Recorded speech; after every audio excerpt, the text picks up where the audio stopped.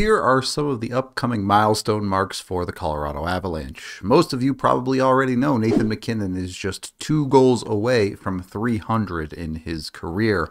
But did you know Ryan Johansen is just one goal away from 200 goals? And Ross Colton just two points away from 100 points for him. You also have Jonathan Drouin just six points away from 300. And a little bit further down the line, Mikko Rantanen is 23 games away from becoming a top 10 av all time in games played, a mark he will surpass this season. While Cale Makar is out right now, when he does get back into the lineup, he will likely surpass every single Avs mark for the number one defenseman on this team ever.